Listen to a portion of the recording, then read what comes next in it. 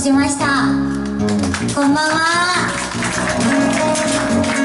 どうぞ。あの下げますね。下げましょうね。下げましょう私が見えないですからね。下げていきましょうね。じゃあえっ、ー、とどうもこんばんは。レオラティックマスコマジャパンです。ありがとうございます。どうもどうも。で後ろの方ちょっと見えますかね。見えないかもしれないので立ちましょうかね。じゃあまず立てないんだ OK です。お座りください。どうぞ。プールここに乗ってもいい？プールここ乗ったらちょっと多分あの運動神経が皆無なんで落ちますね。やめましょうね。やめましょうはい危ないから危ないからやめましょうね。今日街が6時ちょっと早いですけど平日来てくださってありがとうございます。ありがとうありがとうございます。ではあの皆さんゆったりと最後まで楽しんでいってください。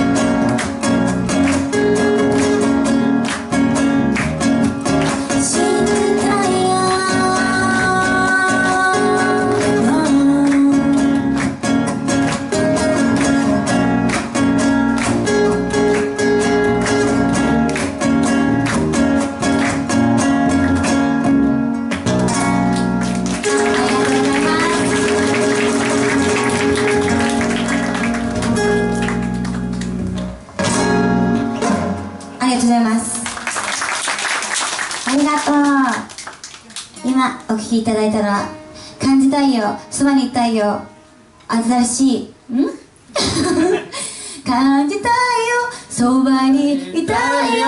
新しい風と切り裂く光よでした。タイトルがね長いんですわ。やる側も覚えとらんぐらいのか？やる側も覚えられんぐらいあのね覚えてるんですけど歌わないと出てこないっていうこうクーっていう。でも AKB さんも流行ってますよね。タイトル長いやつめっちゃ。それが出た時にちょうどこの曲も出てそれにかぶせたんですけどまんまと自分で言えないっていう罠にはまっております。今日は町田